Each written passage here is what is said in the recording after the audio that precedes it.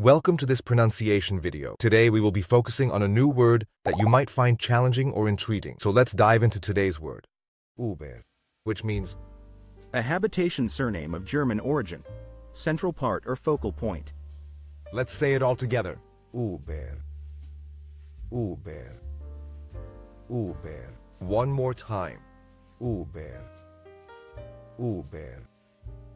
Huber. Thank you for joining us on this adventure in pronunciation. Remember, language is a journey, not a destination. Keep exploring, experimenting, and expanding your linguistic horizons. We'll see you next time.